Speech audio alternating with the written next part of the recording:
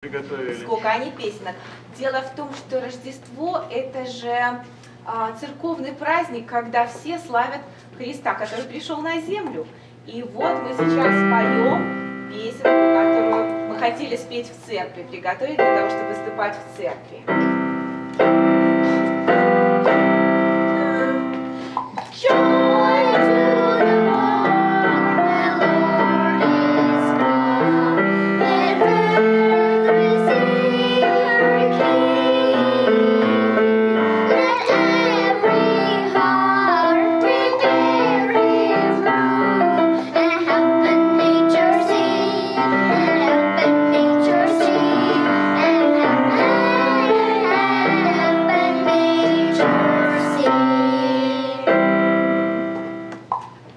Молодцы, молодцы, качай.